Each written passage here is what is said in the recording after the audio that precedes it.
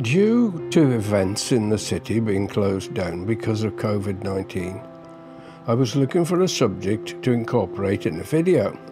The story starts with a photo I have in my collection that shows a large white house with a group of people outside.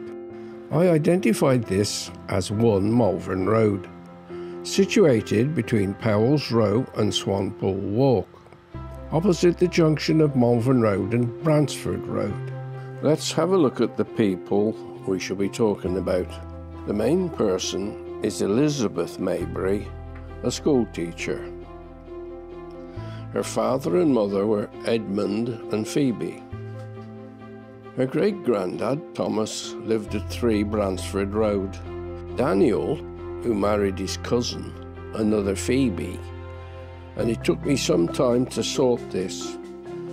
There are two Phoebes, neither of whom were obviously his wife. Thomas and his family lived at 3 Cypress Villas, Bransford Road, and just in the background you can see number 1, Malvern Road. I decided to see what I could find out about it and the residents. It was known as One Powick Road in 1841, the time of the first proper census as we know it.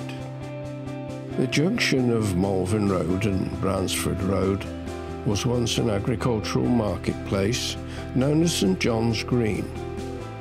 Today, following demolition and changes in the 20th century, this area has lost much of this character, although there are still cottages which have the small scale derived from their historic foundations.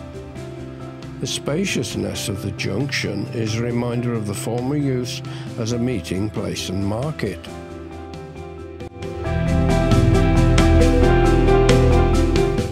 In the 1841 census, Phoebe Maybury and her family are recorded living at number 1 Powick Road. It also shows her daughter Elizabeth, who was 12 and she's the main person that I shall be following. As I mentioned, the road was later renamed Malvern Road. It may be because of the link to Powick Lunatic Asylum.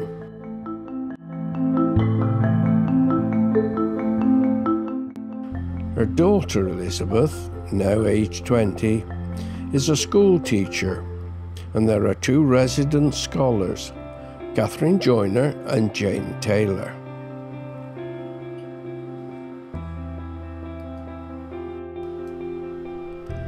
School for Young Ladies, St John's, Worcester, conducted by Miss Maybury.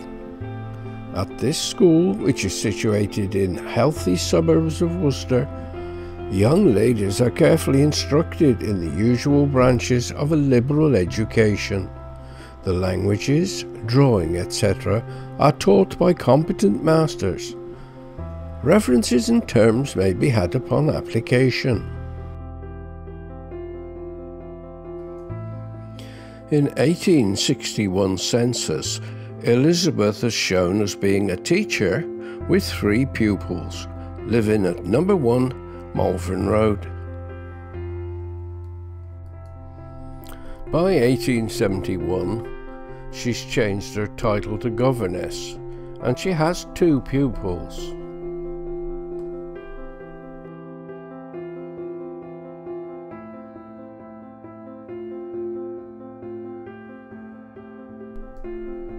In the enhanced version of the old photograph, you can see two young ladies, one of whom is wearing a cap and gown, presumably these are the two pupils referred to in the 1871 census, but I can't be sure.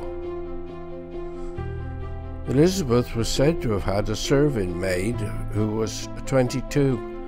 Maybe that's the young lady who's been pushed out at the front onto the footpath.